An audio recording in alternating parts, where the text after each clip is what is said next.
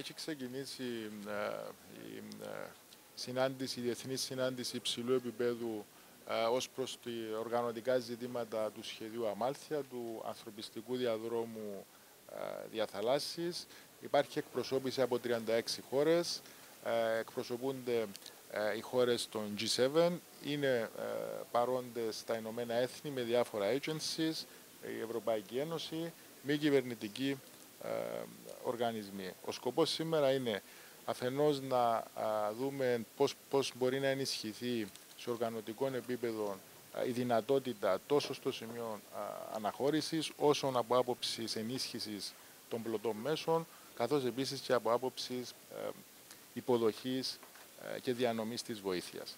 Επιπλέον θα συζητηθεί το ζήτημα της δημιουργίας ενός ταμείου, του Ταμείου Αμάλθια, με σκοπό να μπορεί να, να παρασχεθεί οικονομική, η απαραίτητη οικονομική ενίσχυση που απαιτείται για τη συνεχιζόμενη λειτουργία της συγκεκριμένης προσπάθειας.